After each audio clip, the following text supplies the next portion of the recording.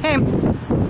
Hi, I'm Gail Mackie from SpokAnimal, and I'm out standing in my field. Well, okay, all seriousness aside, Spokane had a problem, and that was that we had way too many feral cats and trap cats coming in, not only to our shelter, but to Scraps as well. And we decided we had to do something about that, so we developed a new program called Farm Living is the Life for Me.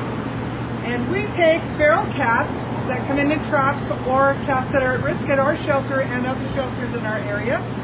We sterilize them with a grant through the A, and we find homes for them in farm homes where they're wanted as rodent managers.